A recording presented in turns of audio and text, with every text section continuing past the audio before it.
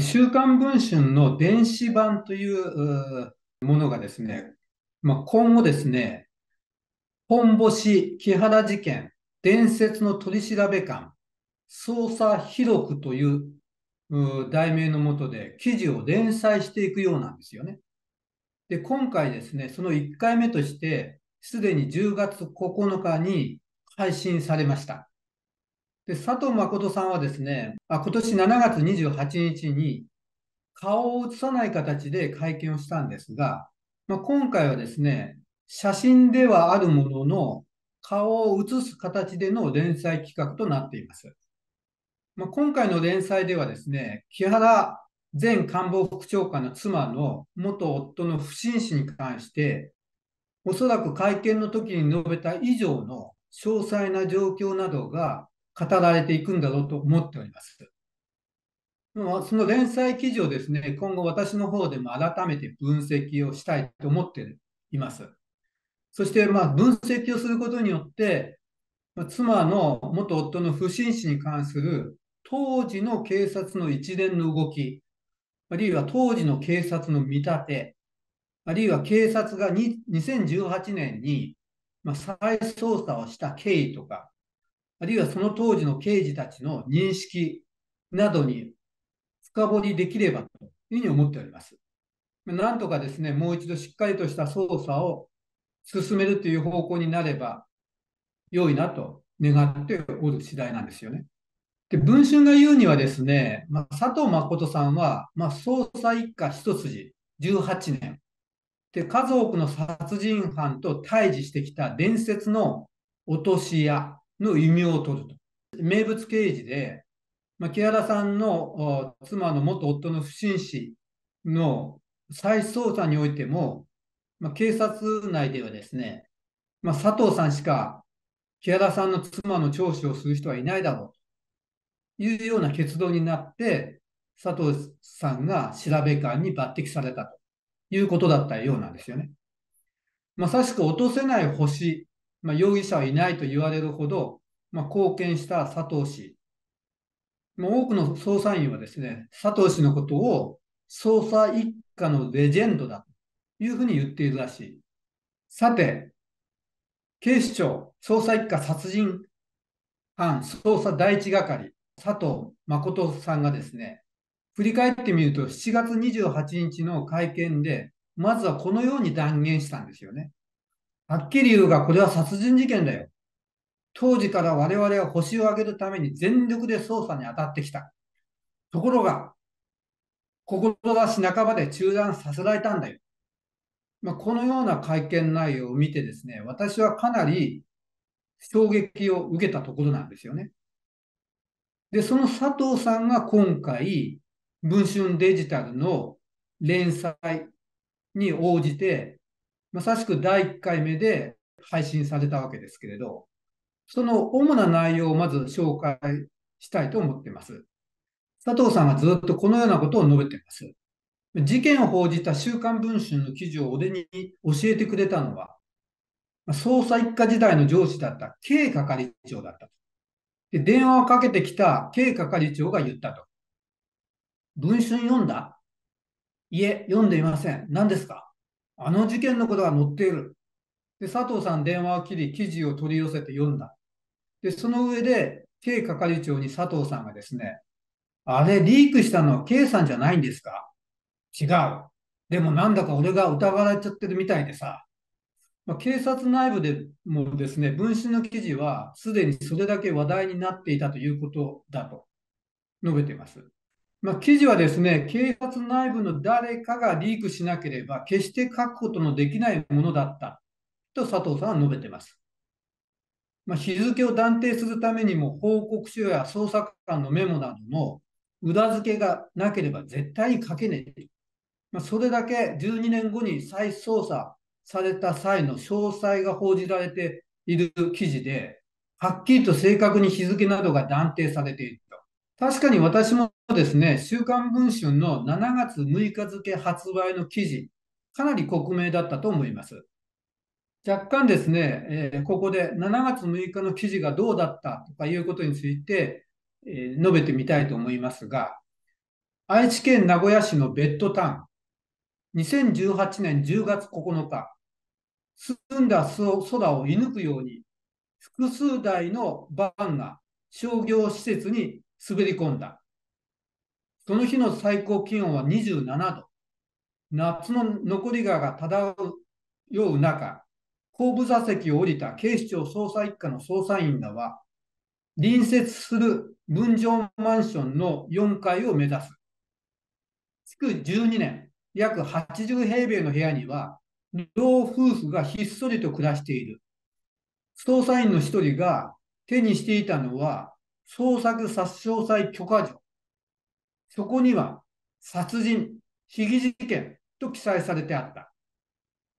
この日、家宅捜索が行われたのは、2006年4月10日未明に各地した不審死事件に関するものだ。本件は長らく未解決の扱いだったが、発生から12年が経過した2018年春に未解決事件を担当する捜査一課特命捜査対策室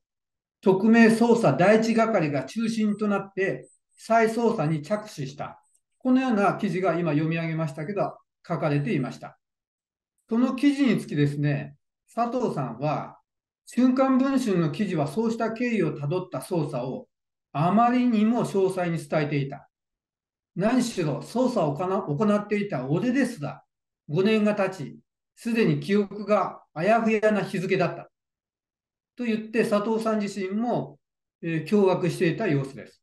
で、そもそもですね、7月6日付発売の文春記事はですね、事件の内容として次のようなものが記載されていました。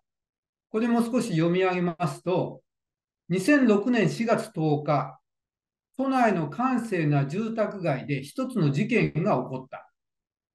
その日、不審死を遂げたのは、風俗店に勤務する安田種夫さんで、通報していたのは、貸していたハイエースを深夜に返してもらおうと、その家を訪れた父親だった。父親が種夫さんの家に来たとき、玄関のドアは開いたままになっていた。電気の消えた今には、種夫さんの遺体があり、寝ていると思った父親は、おい、こんな野郎、こんなところで寝てたら風邪ひくぞ、と体を起こそうとした。ところが足の裏に冷たいものが伝わったのを感じ、照明のスイッチをつけると、部屋は血の海で、タンクトップを赤く染めた種夫さんの遺体があった。通報時刻は10日の午前3時59分。管轄である大塚市長が駆けつける。その際、種夫さんの妻である X 子は子供2人と2階の奥の寝室で寝ていたと言い、私が寝ている間に隣の部屋で夫が死んでいましたと供述すると。まあ、このようなあ記事が7月6日発売の週刊文春で、えー、書かれていたわけですよね。で、さらに、えー、今度はそれを受けて佐藤誠さんの今回の第1回目の配信の記事なんですけれど、その文春の記事を読んでしばらく経った頃だ。自宅の隣に住んでいた知人から、文春の記者が来たと連絡があった。まあ、記者が訪れたのは自分の昔の住所だ。今はもう住んでいない。その時点で文春の記者は、俺の新たな住所を突き止めてはいなかった。だから記者が来たと伝えてくれた知人に連絡をし、名刺に記載されていた記者の携帯電話に連絡をした。上司の K さんのこともあったから、記事の情報を誰がリークしたのかを確かめたかったんだ。で、俺のところに来た文春の記者に俺は言ったと。俺が知っていることの中には言えることと言えないことがあるよ。わかりました。佐藤さんの知っていることを教えてほしい。それはわかった。俺も少しはしゃべってもいいよ。ただ、まずはこの記事についてリークしたのが誰だか教えてほしい。だがそこは記者だけあって、笑うばかりで口は割らなかったよ。そんな中、行われたのが、露木警察庁長官の記者会見だった。まあ、このような経緯を、この第1回目の配信で佐藤さんが述べています。まあ、これが主な内容なんですが、私はやはり専門的な立場で、一番注目したのは、佐藤さんが文春へのリーク元が上司の K さんと思ったということ。まあ、それだけ内部情報が正確だったということなんだろうと思うんですよね。で私は特捜部の時にですね、全国から寄せられる手紙、えー、などの内部情報を扱う仕事についていました。その内部情報の信憑性とか、それが真相かどうかを見極める部署、まあ、直告受理係というんですが、そうしたあ係をやっていました。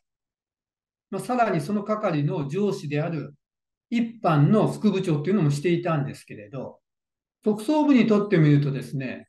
まあ、そうした内部情報っていうのは、とにかく事件をやる際には非常に大きな力になるっていうのが最近の傾向です。私は一通のハガキに書かれていたあ情報をもとにですね、後々国会議員の逮捕に至ったという事件もありましたから、まさしく内部情報っていうのはすごい大事なんですよね。で内部情報に触れて一番思うのは、その情報がやはりその人しかわからないようなことがいかに具体的かつ掘り下げて、えー、提供されるかということになるんですけれど、まさしく今回のですね、佐藤さんが文春の記事を読んで、これは間違いなく内部情報だ。まあ、場合によっては K さんじゃないかと思ったというぐらいですから、その文春の記事っていうのは、やはり相当な部分で真実を元にして書かれているということ自体はわかると思います。そうなりますとですね、分譲マンションの4階を目指す築12年、約80平米の部屋には、老夫婦がひっそりと暮らしている。捜査員の一人が手にしていたのは捜索差し押さえ許可状。そこには殺人、被疑事件と記載されてあった。まあ、このマンションというのは木原さんの妻の実家などの関係宅だというふうに思いますけれど、その令状の犯罪事実には殺人、被疑事件と記載されていたということが、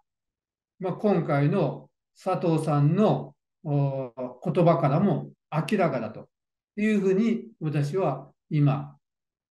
確信しております。他にも捜査員の中にその捜査中止というか、面白くないと思っている人が必ずいたということですよね。この連続配信、連載が続くと思いますので、まあ、その辺の同僚の意識、認識、あるいは警察のその当時、2018年の再捜査の時の、まあ、姿勢、体制、スタンスっていうのが、おいおい明らかになされていくんじゃないかと思います。まあ、おそらく2018年の再捜査の時は、現場の刑事は、まあ、こぞってですね、よし、真相を発見するぞ。やはり被害者の無念を晴らさなきゃいけない。というような強い思いを抱いている人が、ほぼほぼ現場では多かった。私はそう思っております。本日の解説、私の言葉、これは良かったと思う人はチャンネル登録そして高評価グッドボタンよろしくお願いします